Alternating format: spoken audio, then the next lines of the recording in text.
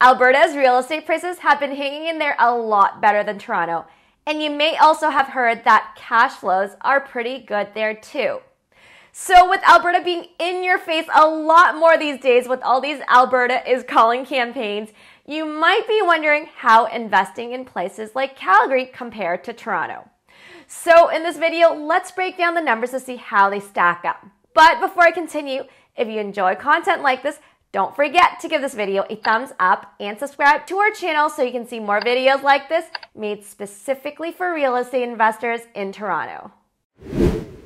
Calgary's property prices are more affordable, and with more people being able to work from home, the thought of living in Calgary might seem like a better idea. More recently, Alberta is benefiting because of the improved outlook for energy and agriculture, which helps to hedge against rising inflation and interest rates. According to the latest RBC report, GDP growth in the prairies is for sure up this year, and labor markets are almost as strong as in Toronto.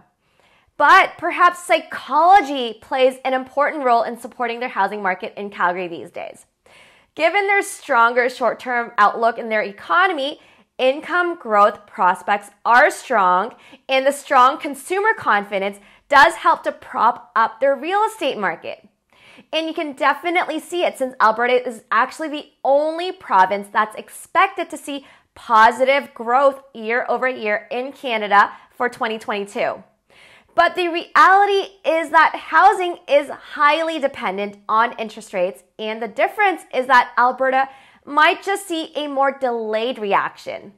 In fact, Alberta's debt to income ratios are amongst the highest in Canada, and since real estate prices in Alberta haven't budged much this year, RBC predicts that Alberta will see a 27% dip in sales next year. And even though RBC does expect weakness in Ontario as well, it is a much smaller 10% drop. Note that this isn't a price change forecast, but a sales volume forecast from RBC. But usually, when sales drop, it ends up dragging down prices with it.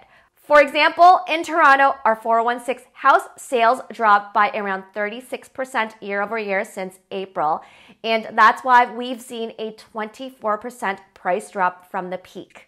The other thing to remember is that this recent price support in Alberta mainly does come from its huge reliance on oil. And here's another interesting chart from BMO that shows the boom and bust for real estate in various markets in Canada. What you can see is that once oil prices drop, Calgary's real estate prices usually get dragged down with it.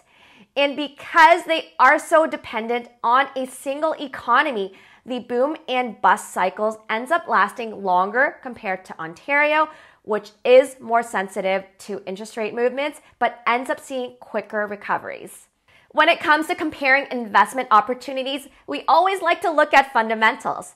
The economy is more diverse in Ontario and even more so in Toronto, which means there are more ways to help us bounce back.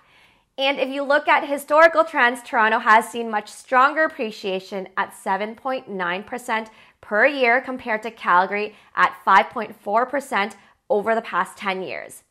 And even if Calgary sees one or two good years in the long run, the strong market in Toronto will still outperform.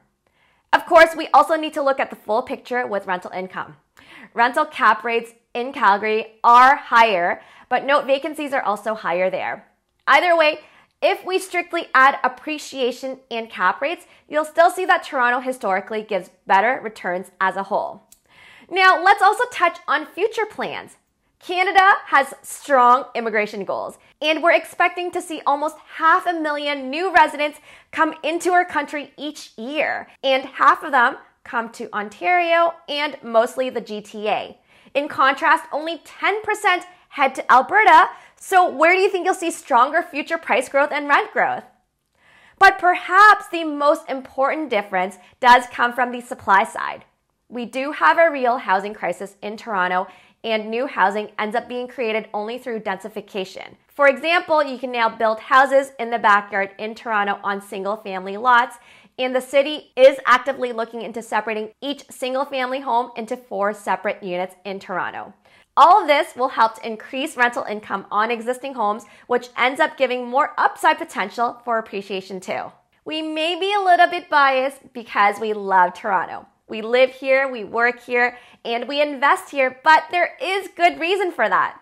And honestly, even though investing in Toronto real estate might seem scarier in the shorter term, the long term upside potential in Toronto is pretty awesome. And right now, prices are heavily discounted where you can get 25% plus off, and the barrier to entry from the capital side has also gone down. Here's a quick example. You can buy a property for $880,000, which requires $40,000 in renovations. And so, based on a 20% down payment plus closing costs plus renovations, you are looking at an upfront investment capital of around $250,000. Once you're done with renos, you can rent out the house with two units for $5,000, so it ends up positive cash flowing $300 per month. And this is what we call a strong investment property. And remember, higher interest rates aren't forever as well.